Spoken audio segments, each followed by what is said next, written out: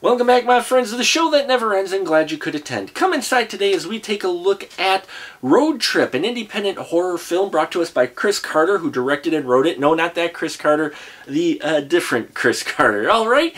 And Chris Carter also stars in here as one of the characters, one of six uh, college friends who are getting together for one last hurrah, one last adventure before they all have to go and do grown up things after graduating from college.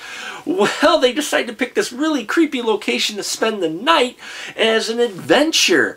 Well, when they get locked in, they find out there's an occupant already there in this creepy building, and the butcher wears a mask and wields a nasty axe and uh, starts chasing the college folks around as they try to find a way to escape and survive the night.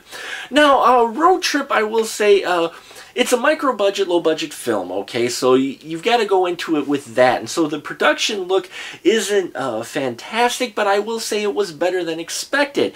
I did enjoy the look of it, uh, the lighting of it. You could see what was going on, which sometimes lacks in some of these types of films. So I did enjoy uh, the look of the film. Now, the audio does get rough in some spots, spots not too much, but there is some noticeable uh, uh, unevenness in some of the audio in there uh, when they're cutting between people talking. So I, I just have to mention that because it, it, was noticeable in there.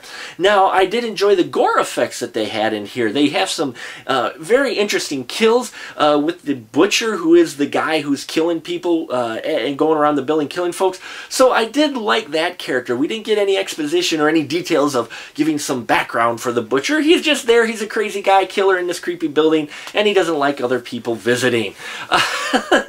Uh, they do a good job of establishing, too, that the butcher's been there a while.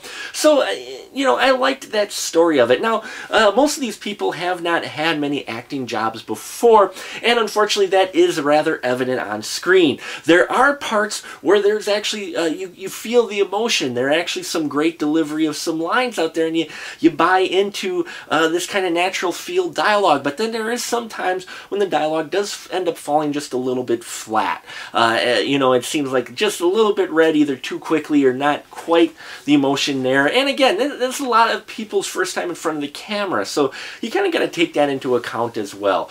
Uh, Road Trip, while it's not a fantastic, something brand new to the slasher independent horror scene, I will say that it wasn't horrible either. It was watchable, it was entertaining, and I did like the Butcher character and the way things ended. Uh, really uh, enjoyed that as well and how it played out. So check it out down below. I'll put a link down below for, uh, I believe it's free for one more day. Let me know what you think in the comments down below. I really like to hear it if you have seen Road Trip.